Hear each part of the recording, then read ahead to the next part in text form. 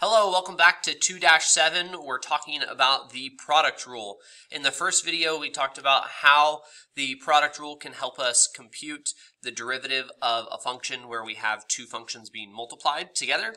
And if you want a refresher on what the product rule is, you can watch the first video or follow that formula right behind me, as well as in our notes here.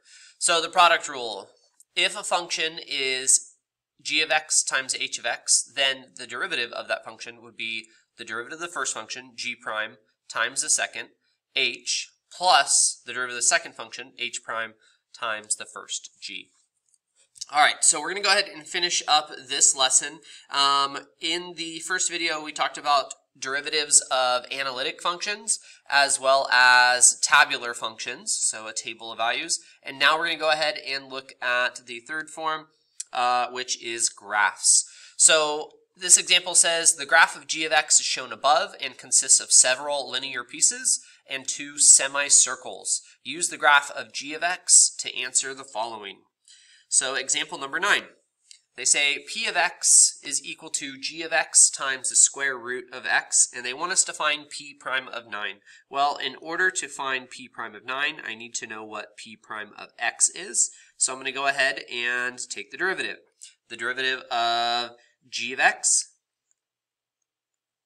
um, and square root of x. So I'm going to have to use the product rule. So we have g prime of x times the square root of x plus the derivative of the square root of x, which is 1 over 2 root x, times the first, which is g of x. Uh, if you're unfamiliar with how I got this uh, derivative here, I recommend that you pause the video now and just kind of go off to your off to the side and compute the derivative of x to the power of 1 half, and you'll see how I got that. Okay, so um, there is p prime. Now we want to go ahead and find what is p prime of 9. So I'm just going to evaluate g prime of 9 times the square root of 9 plus 1 over 2 square root of 9 times g of 9.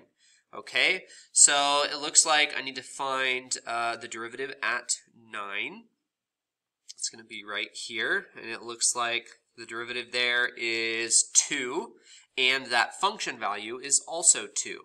So g prime of 9 is 2, as well as the actual function value is 2. Okay, so just want to make that clear. The slope is 2 and the function value is 2. So we have uh, 2 times 3 plus 1, 6 times 2. So it looks like we have 6 plus one third. Okay, and there is your answer. Example 10. h of x equals x squared g of x. Find h prime of 5. Okay, same game. I have to use product rule here because I have a function, x squared, and then a secondary function, g of x. So I'm going to find h prime of x first. Okay, so this is going to be 2x g of x plus g prime of x times x squared. Okay. h prime of 5, I'm going to go ahead and plug that in. So we have 2 times 5 times g of 5 plus g prime of 5 times 5 squared. Okay, so 10 times g of 5. So I'm going to go find uh, what that is, g of 5. So here's, I'll do it in a different color this time. There's g of 5. Okay, so g of 5 is equal to, it looks like 1. And then while I'm here, I already know I'm going to have to find g prime of 5, g prime of 5. And g prime of 5, well, that's a vertical tangent line. So v prime of 5 is undefined. It's a vertical straight up tangent line. v prime of 5 is undefined. So um, our answer is going to be undefined. So that was 1 plus, well this is, this is undefined, undefined, 25 times undefined, uh, which doesn't make much sense. Um, So dot dot dot dot, I'm going to say h prime of 5 is undefined. Okay, there's our answer. Number 11, uh, example 11. Uh, go ahead, I want you guys to pause the video and try this example. You, you should feel comfortable enough to try this, okay? I'll show you the answer here in a moment. Okay, k of x. If I want to find k prime of x, I got to take the derivative. Now, the derivative of 2, that's just 0. And then I have a function, a um, couple of ways you can do this. You can leave the negative out, or you can leave it with the x cubed. Uh, I'm just going to leave it on the outside. So k prime of x is equal to negative, and then I'm going to go ahead and do my product rule. So 3x squared times the second, g of x, plus derivative of the second, g prime of x, times the first, x cubed. Okay, so there is my k prime of x, and now k prime of negative 3 gives us negative uh, 3 times 3 squared times g of 3 plus g prime of 3 times 3 cubed. Okay, so I got to find 3. What's going on at 3? And at 3, it looks like we have a slope of 0, and that function value is negative 1. So g of 3 is negative 1, and the derivative is 0. Okay, so negative, this looks like 27 times g of 3, that was negative 1, okay, plus 0 times 27. So it looks like we have a negative negative 27, which is a positive 27. Did I do that right? I think that's right. Oh, that is correct. if I were taking the derivative at positive 3, this is negative 3. Why didn't you tell me? Should have told me. Okay, negative 3. Let me just fix this. Negative 3, negative 3. Okay, it still becomes 27. I got to double check uh, the values there. And then negative 3 cubed, that's going to be a negative 27. Okay. Okay, so negative 3. Looks like the slope is negative 1 and the output is 2. Output is 2. Okay, so this was a 2. This was a negative, negative 1? Negative 1. Yes. Okay. So we have negative 54 plus um, 27 plus 27, which gives us 81. So negative 81 is our answer. Did you get that? Whew, I had trouble getting that. Dang. Okay, uh, example 12. Example 12 um, looks fairly straightforward, um, except the notation that they use is a little weird. So let's check it out. y is equal to e to the x times g of x. Find dy dx at x equals 0. Okay, so the notation, dy dx. They want us to take the derivative at y. So that's the same thing as y prime. I need to know what y prime is, and then they want us to evaluate at x equals 0. So um, this vertical bar, that just means evaluate at, and then x equals 0. So I'll save that notation. Uh, the first thing I need is I need y prime, which is e to the x times g of x plus g prime of x times e to the x.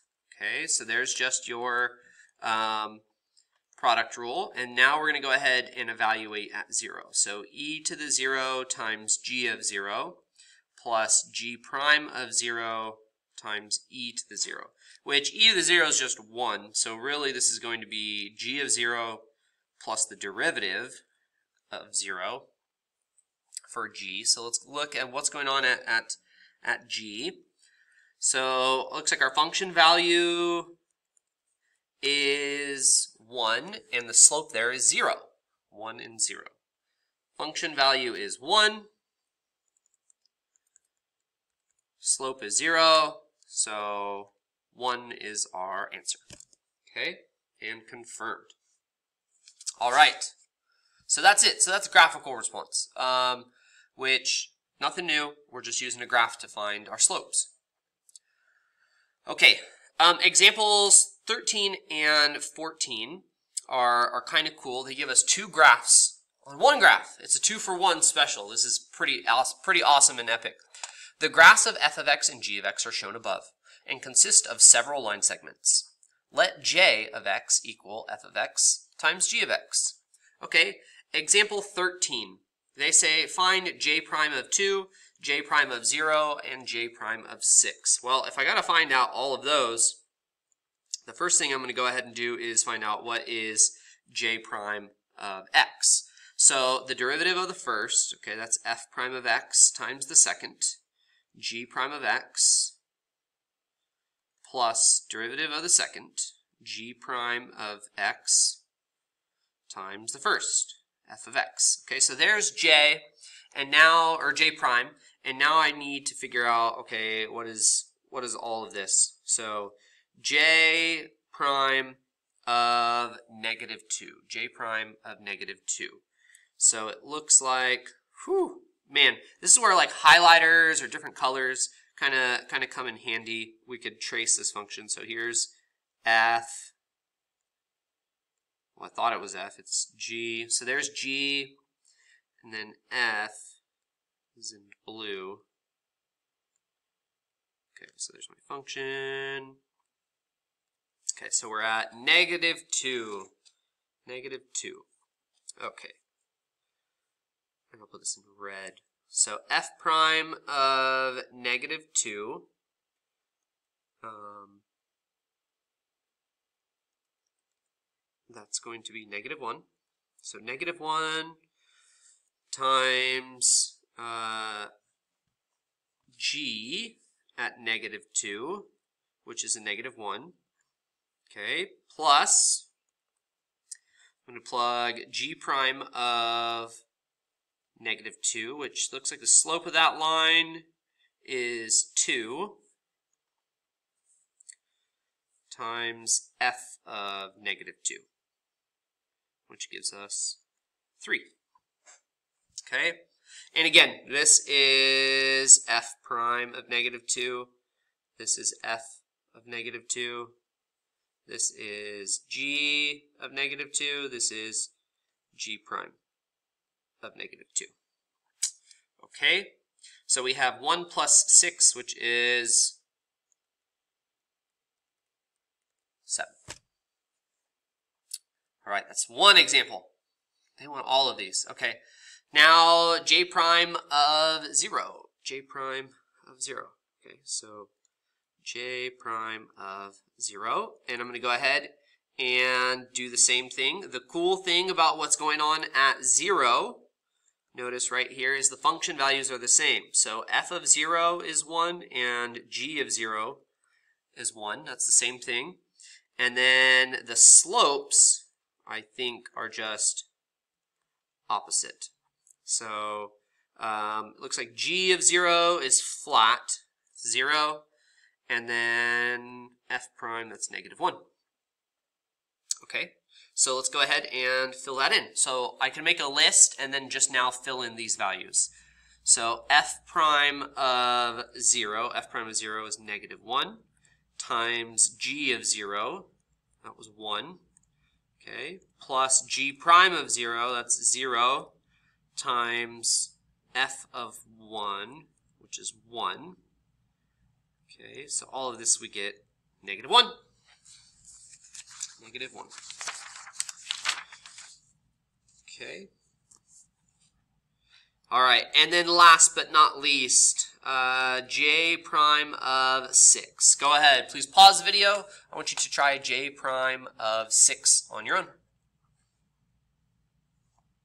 All right, hopefully you went ahead and tried this. Uh, this one was a little tricky as well. If we look at 6 here, if we look at 6, which is here and here, our f of 6 value, that was 1. g of 6 value, that was negative 2. f prime at 6, that slope is 1 half, rising 1 half. And then g prime of 6 is undefined. Undefined. We have a sharp turn there. So this answer is undefined. Undefined. Um, because, again, if I just plug plug all of this in, right, f prime, that's 1 half times g of 6, which is negative 2, plus g prime, here's an undefined answer. So because this is undefined, even though I have all these other values, this this whole thing is undefined. So g prime of 6 is undefined. Can't do it. All right. Sorry to hit you with the, the trick problem on the example. Okay. They say write an equ equation of the line tangent to j at x equals 9. Ooh, they want the equation of a line tangent. So what are the two things that I need for a line? Just a quick recap. Well, the first thing, I need a point. I need an x and I need a y. So 9, well, for j, the y value for j, um, I got to go ahead and I got to find j of 9. j of 9. So let's go ahead. Let's calculate j of 9. So j of 9, that is going to be equal to f of 9 times g of 9. Okay, and so I have to find those two values. F of 9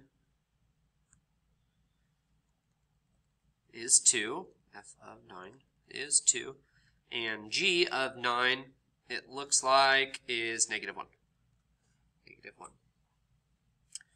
Okay, so 2 times negative 1, which gives us negative 2.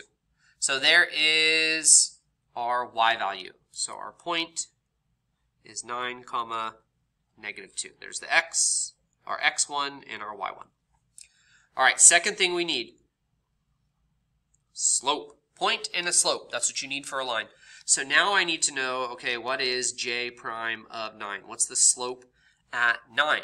So I can go ahead, I can use my function, right, from before. So j prime of 9 is going to be f prime of 9 times g of 9. Well, we already found out g of 9. We know that that's negative 1 times g prime of 9 um, times f of 9, which we know is 2. Okay, so let's go find the slopes. So I'll go back up to my picture. Um, f prime of 9, f prime of 9 is 0. That's a flat line. So my slope is 0. And then it looks like the slope on this line segment, rising 1, running 3. So g prime of 9 is 1 third. Okay. So I'm going to go down here, and I'm going to plug this information in. This is 0, this is 1 third. We'll add those together, and 2 thirds is our slope. 2 thirds. Okay, so I have uh, everything I need. I can just go ahead and drop it into my um, point slope form. Point slope form. And remember that that is y minus y1 equals m times x minus x1. Okay, so y minus negative 2, which turns into y plus 2, is equal to m 2 thirds times x minus x1, which is 9. And there's the equation of the line. All right, that is it. That is it. Um, in this video, we went ahead and we calculated how to use the product rule given graphs. So graphical templates, okay? Give me a thumbs up, like this video, subscribe for more awesome math videos. You can do the power rule. You guys got it. I believe in you. Catch you in the next one. Peace.